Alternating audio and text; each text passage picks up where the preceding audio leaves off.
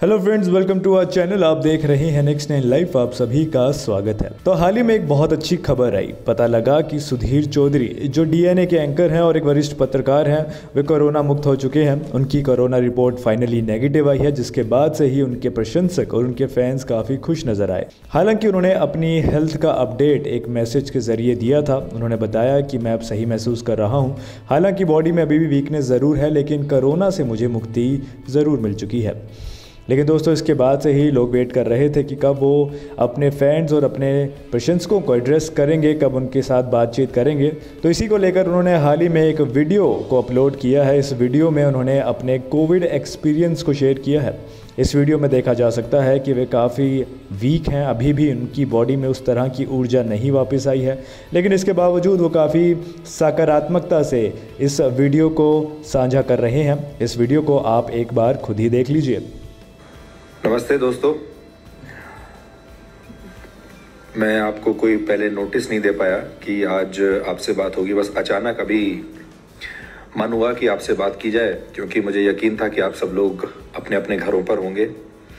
और, ये जो लॉकडाउन है, इसको लोग अलग अलग तरीके से देख रहे हैं। तो पहले तो मैंने ये सोचा कि आप लोगों से हालचाल पूछ लूँ, क्योंकि अब कई दिन हो गए हैं आप अपने घरों में होंगे। और आपसे ये गुजारिश भी करूँ कि आप फ़िलहाल अपने घर में ही रहें। तो जीवन की जो नई पद्धति है, जो इस, ये जो कोरोना वायरस आपको सिखा रहा है, इस इस नई पद्धति को अपनाने की कोशिश कीजिए।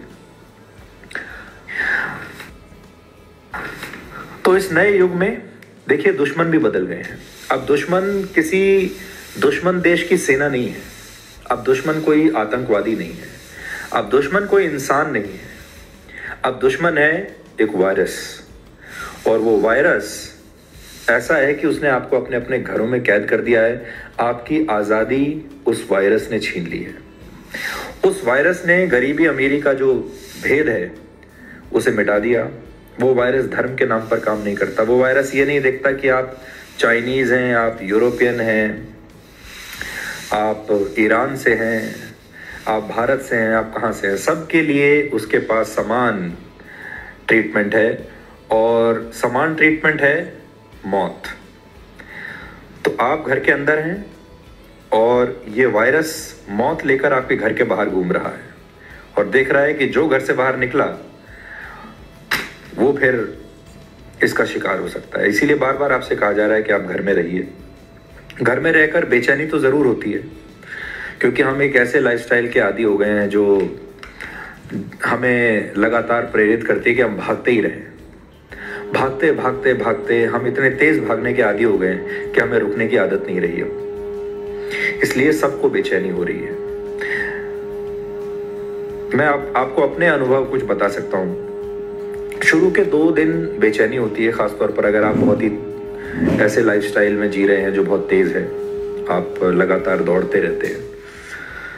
लेकिन रुकने का भी अलग मज़ा है। तो दूसरे, तीसरे दिन के बाद आपकी बॉडी और आपका जो माइंड है, वो इस बात को स्वीकार करने लगता है कि अब आप रुक चुके हैं।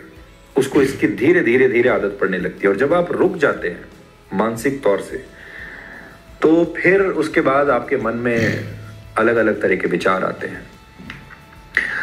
तो मैं तो आपको ये कहना चाहूँगा कि आप सबसे पहले ये देखिए कि आपको अच्छा क्या लगता है। आपने आखिरी बार ऐसा कौन सा काम किया था जो आपको बहुत पसंद है? वो वो जो भी चीज़ आपको पसंद है, जिसमें आपको सुख मिलता है, आपको वो करना चाहिए। आप अगर आपको खाने में कुछ पसंद है तो वो खाना खाइए, घर में बनाकर खाइए। लेकिन ध्यान रखिए कि ऐसे समय में आपको हेल्दी फ़ूड शुद्ध खाना और वो भी स्वस्थ खाना खाना चाहिए, जो आपके शरीर में लगे और आपके शरीर को बल दे, आपकी ह्यूमिनिटी लेवल्स को बढ़ाए। और आपको जो सुनना पसंद है, वो सुनिए। संगीत सुनिए। आपको जो पढ़ना पसंद है, वो पढ़िए। अगर आपको आपको आर्ट की कोई फॉर्म पसंद है, वो आप कर सकते हैं। आपको अपने लोगों से बातचीत करना अच्छा लगता है, आप वो भी कर सकते हैं। कुल मिलाकर ये आपके पास एक शानदार मौका है। जब आप, जो आपको अच्छा लगता है, आप वो कर सकते हैं, अपने घर में रहते हुए। अगर आपको अच्छे कपड़े पहनने पसंद हैं, आप अच्छे कपड़े पहनिए। अभी तक आपने अच्छे कपड़े हमेशा दूसरों के लिए पहने होंगे, दूसरों को दिखाने के लिए। क्योंकि हमारी आदत है कि हम कुछ भी काम करते हैं, हमें सबसे पहले समाज से तारीफ़ चाहिए होती है। हम समाज की तरफ़ देखते हैं, दूसरे लोगों की तरफ़ देखते हैं कि जब वो अप्रूव करेंगे, तभी हम अच्छे माने जाएँगे।